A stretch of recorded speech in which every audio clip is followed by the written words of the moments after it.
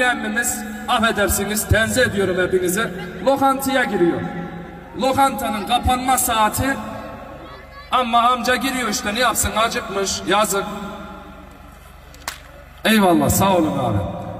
Adam acıkmış yorgun lokantaya girince selam aleyküm aleyküm selam. Ya emmi onu ne var diyor yemekte diyor. Oradaki diyor ki hiçbir şey yok diyor hiçbir şey diyor. O da hiçbir şey yemek sanıyor.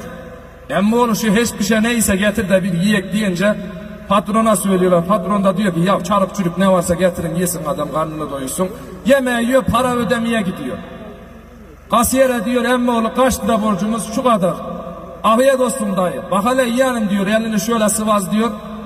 İyiydi güzeldi parayı da aldınız ya diyor. Hiçbir şeyin de hiç tadı yoktu diyor. O hesap alkışınızın da hiç tadı yoktu. Türkü güzel olma. Şimdi başkanımız söz verdi yolu yapacak dedi de. Ben halk ozanı olarak gördüğüm şeyi söyleyeyim.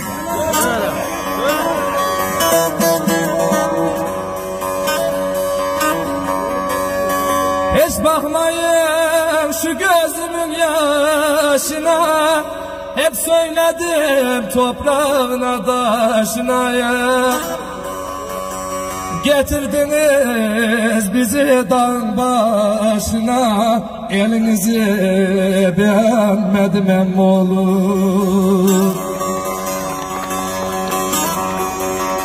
Getirdiniz bizi dağın başına Elinizi beğenmedim emmoğlu Haklı mıyım ya alkış. Baharın ardından türlü gelir Koyunlar giderken böyle yoz gelir. Duyamıyorum alkışınız az gelir. Halınızı beğenmedim emmoğlu Duyamıyorum alkışınız az gelir.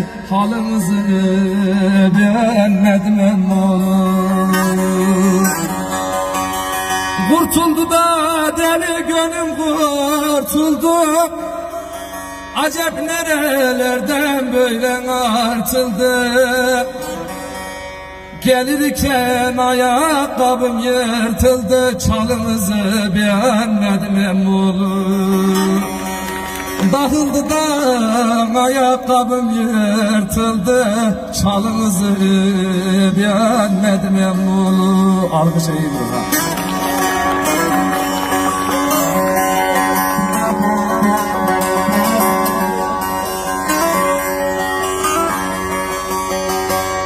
ha Halil daylamın da sazını çaldı. Kime selam verdim kimisin aldı.